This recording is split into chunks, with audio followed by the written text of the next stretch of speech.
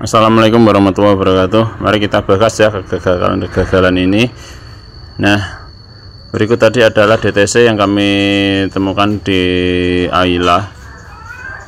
Ini kegagalan pengapian ya.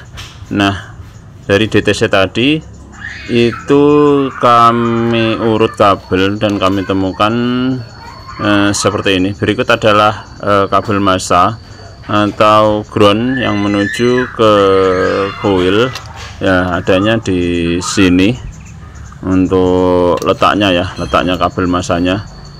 Nah seperti ini. Ada baut 10 di sebelah sini.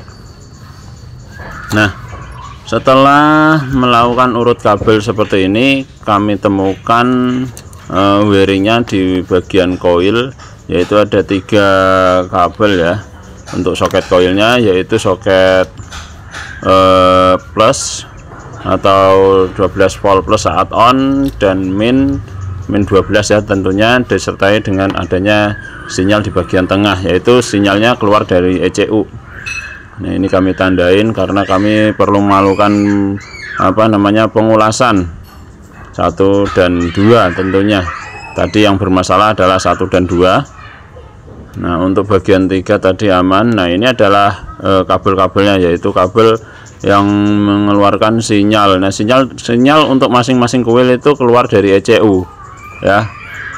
Biru kita tandain. Untuk sinyal itu keluar dari ECU kedipan ya. Bisa melakukan pengetesan pakai tes pen LED saya sarankan pakai tes pen LED jangan tes pen biasa. Khawatir konslet malah bahaya nantinya berikut adalah soketnya ya soket bagian atas. Nah kami tadi sudah lakukan tes untuk terhubungnya uh, dari sinyal ke apa ke soket uh, dalam keadaan baik.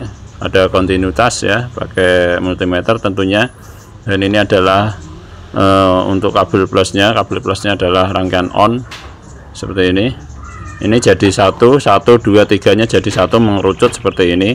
Kami lakukan tes eh, tes juga eh, dalam keadaan baik.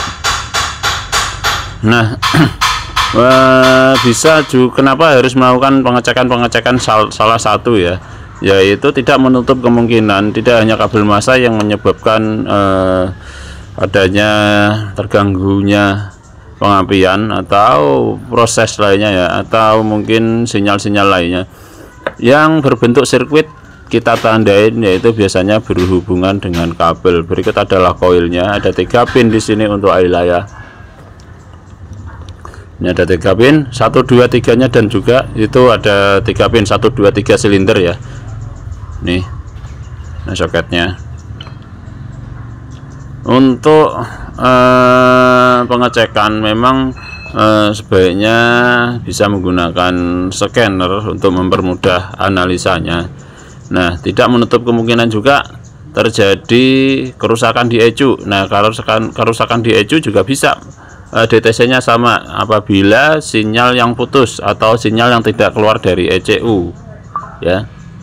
Maka pemeriksaan memang harus detail urut kabel tentunya mungkin eh, rekan-rekan eh, semuanya eh, apa ya sering menjumpai kasus-kasus seperti ini. Karena guncangannya di mesin ini memang agak keras ya agak goyang karena silinder tiga.